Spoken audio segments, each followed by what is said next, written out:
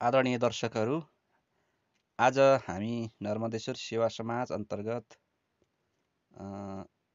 यो र वडा कार्यालयको संयुक्त पहलमा निर्माण भएको राधाकृष्ण मन्दिर परिसरमा राखिने शिलालेखको अनावरण कार्यक्रमको लागि तयारी गर्दैछौँ। यस कार्यक्रममा धेरैभन्दा धेरै नर्मदेश्वरवासीहरू र नर्मदेश्वर बाहेकका विभिन्न क्षेत्रबाट राधाकृष्ण मन्दिरको लागि सहयोगहरू उपलब्ध गराउनु भएको थियो र त्यही सहयोगलाई हामीले आज यो शिलालेख मार्फत ऐतिहासिक रूपमा दस्तावेजीकरण गराउने कार्यक्रम गरेका छौँ।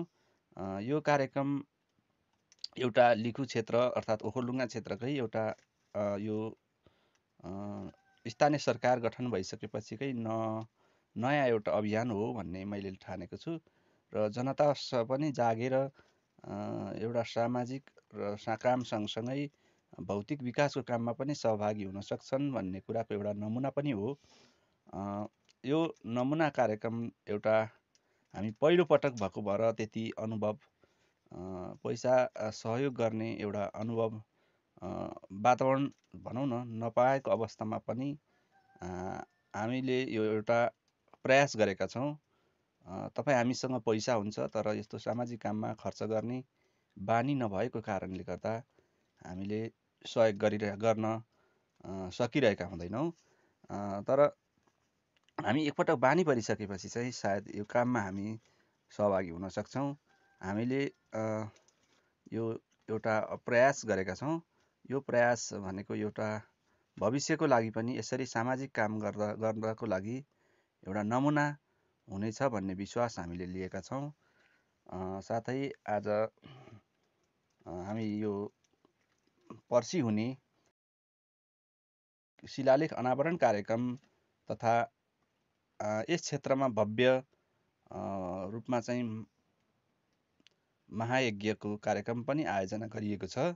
र त यहाँहरूले देख्न सक्नुहुन्छ यो महायज्ञ परिसर महायज्ञको मञ्चको दायाँ भागमा यो राधाकृष्णको मन्दिर अवस्थित रहेको छ र हामी यही महायज्ञ परिसरमा महायज्ञको समुद्घाटनसँगै राधाकृष्णको मन्दिरमा राखिएको शिलालेखको अनावरण कार्यक्रम पनि सम्पन्न गर्नेछौँ। प्रमुख अतिथि विशिष्ट अतिथि धर्मगुरुहरू र विश्व हिन्दू हिन्दू धर्म हिन्दू धर्मका हिन्दू सनातन धर्मका चाहिँ धर्म अनुसार महत्त्वपूर्ण पर्वको रूपमा मनाउने महाशिवरात्रि पर्वको अवसरमा यहाँ भक्तजनहरूको ठुलो मात्रामा घुइँचो लाग्ने गर्दछ। यो एउटा ऐतिहासिक नर्मदेश्वर महादेव स्थान परिसर हो। यहाँ चाहिँ हामीले थाहा पाएअनुसार देशव्यापी धार्मिक अनुष्ठान महाअभियान एक सय आठ भागवत सङ्कल्प श्रीमद् भागवत सप्ताह ज्ञान महायज्ञ सार्वजनिक सङ्गीतमय कार्यक्रम दुई हजार उनासी आयोजना गर्न लागि रहेछ। र हामीले चाहिँ यो शिलालेख चाहिँ शिवरात्रिकै अवसरमा हामीले अनावरण गर्ने कार्यक्रम राखेका थियौँ।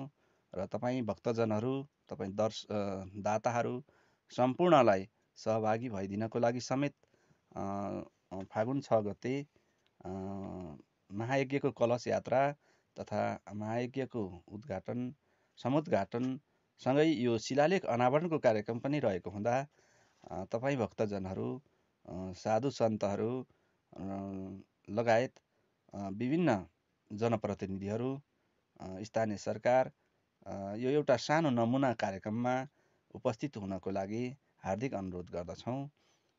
त्यससँगै हामी अनावरण कार्यक्रमसँगै महायज्ञलाई सफल बनाउनको लागि जुन हामीले समेत आह्वान गर्दछौँ यहाँहरू उपस्थित भएर सात दिनसम्म आयोजना हुने श्रीमद् भागवत महाज्ञान महायज्ञ कार्यक्रममा यहाँहरू सरिक हुन सक्नुहुनेछ। को सदरमुकाम ओखलढुङ्गा बजारबाट करिब पन्ध्र कोष पश्चिमपट्टि ओखलढुङ्गा जिल्लाको साबिक नर्मदेश्वर गाविस लिखु गाउँपालिका वडा नम्बर तिनमा पर्ने यो कुवापानी बेसी भनेर पनि चिनिन्छ यो क्षेत्रलाई। रामेछाप जिल्लाको शिरमा पर्ने जट्टा पोखरीबाट आएको लिखु खोला जसलाई हामी कान्छी कोशी वा हिमगङ्गा पनि भन्ने गर्दछौँ।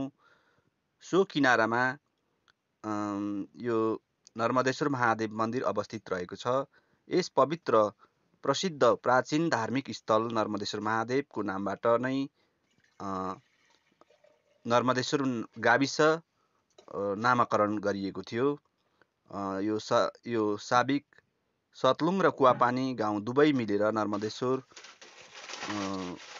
भएको। दुई हजार त्रिचालिसबाट नर्मदेश्वर को नामाकरण छुट्टै गाउँ गाउँ विकास समिति भएको चाहिँ हामीले पाउन सक्छौँ। यहाँ चाहिँ मन्दिरको यस क्षेत्रमा गणेश नारायण सरस्वती हरि धर्मेश्वर हरिधर्मेश्वर महादेव गडुर हनुमान महादेवको वाहन साँडेको मूर्ति र तुलसीको मठ पनि स्थापना स्थापना गरिएको छ। र सँगसँगै हामीले यो राधाकृष्णको मन्दिर समेत स्थापना गरेका छौँ। यस पवित्र भूमिमा आयोजना हुन गइरहेको महायज्ञ तथा शिलालेख अनावरणको पावन अवसरमा यहाँहरू सम्पूर्ण भक्तजनहरूलाई फागुन छ गते महाशिवरात्रिको दिनबाट सात दिनसम्म हुने श्रीमद् भागवत ज्ञान महायज्ञमा सरिक हुनको लागि हार्दिक अनुरोध समेत गर्दछौँ।